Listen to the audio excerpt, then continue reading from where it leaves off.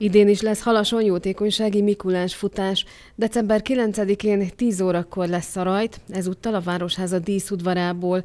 A táv 4 kilométer. Az esemény egyben adománygyűjtési akció is. A szervező Halasi Városmenedzser Kft.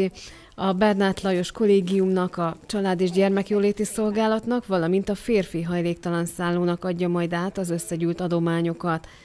A jótékonysági kezdeményezés már elkezdődött, és egészen december 9-ig tart. A Sétál utcai művelődési házban már most bárki leadhatja adományát. Elsősorban meleg ruházatra, lábbelire, tartós élelmiszerre lenne szükség, de például használható játékok, társas játékok, könyvek és szaloncukor is kerülhetnek a csomagokba.